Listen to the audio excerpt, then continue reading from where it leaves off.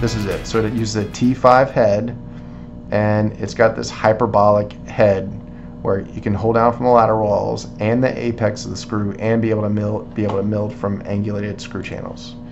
Now the what, what we perfected was so, so we drew the screw in some software. We had a machine. We tested it. We drew our exocad profiles, and we even drew the Hyperdent template to be able to mill these things. Because what I wanted to do in, in, a, in a marketplace, whenever you're milling these things, you get some really loose tolerances with milling, and I didn't want to have a screw going down a hall. You know, um, what I wanted is a very tight tolerance. Now this is a very predictable milling profile for Hyperdent. So we have a template generator that we created for this.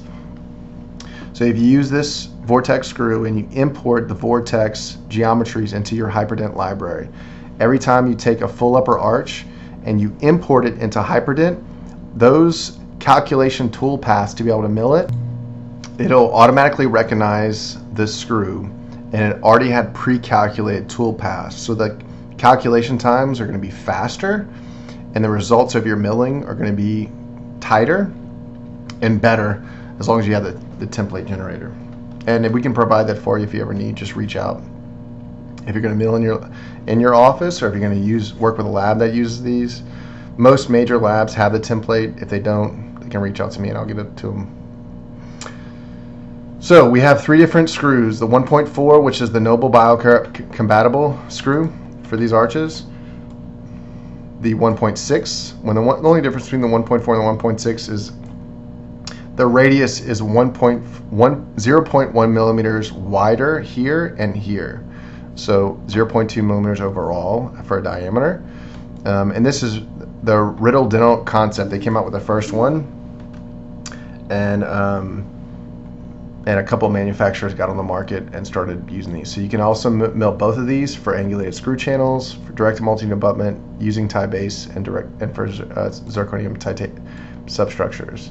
And we're coming out with a 1.72, which is the implant direct screw. This is soon to hit the market, hasn't yet fully. Again, this is a driver. So this is our T5 driver, and this is our screw and this is an angled tool path channel for a FP1 crown, so a single tooth crown. Um, this is our head. You can see it's a lobular shape and form, and you can see how it, the growth of it. So this is the apex of the screw, and these are the threads, and then this is the bottom of the head. So right here, and then you can see as it tapers out to get to the top part of this screw head, that's this outer diameter here. So you can see it's a gradual curve out, like a hyperbole. It goes underneath and then out. And this is how it holds down the lateral walls of the screw. Again, um, this is the T5 driver. So it's a ball-in T5 driver is used to torque these out. Very compatible, with, exactly compatible with the Megagen AnyRidge.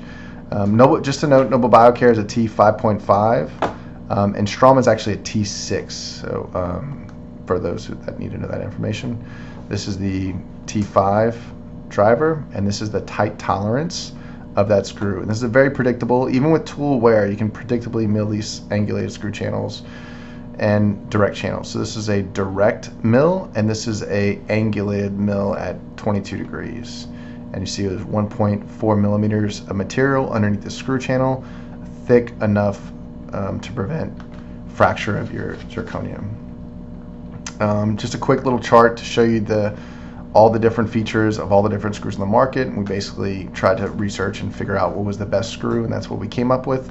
But we wanted to be able to mill direct to multi-unit abutments. So your full zirconia arch will sit on this multi-unit abutment, and this screw will tighten into the zirconia, cause clamping force and preload to be able to tighten up this arch. And you can see it can milled at an angle and this screw can be used at an angle and it still unscrew this.